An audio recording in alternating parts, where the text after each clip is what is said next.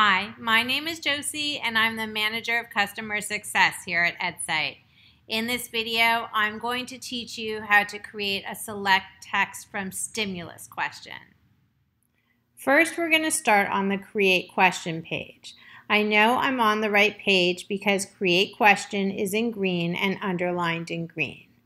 Next, I'm going to choose the type of question I want to work with.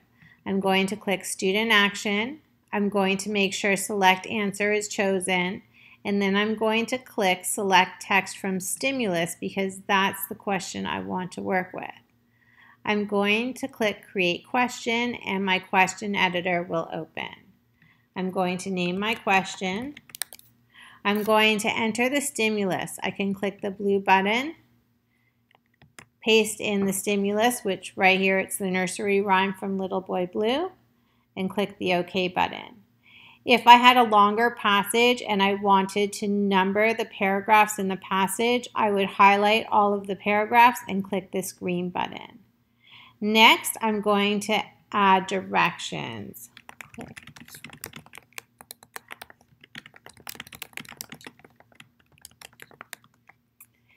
Then I want to find a few different places to give correct and alternate answers. So I'm going to highlight the correct answer first. And it will give me a choice to mark it as a correct answer.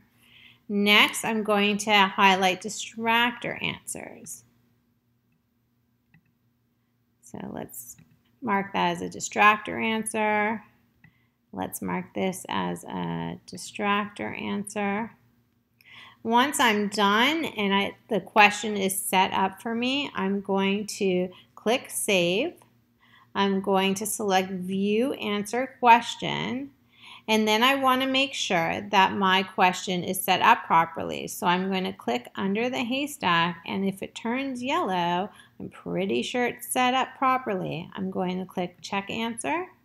And yes, it was marked correct. So my question is now set up correctly and I'm ready to add it to an assignment and send it to my students.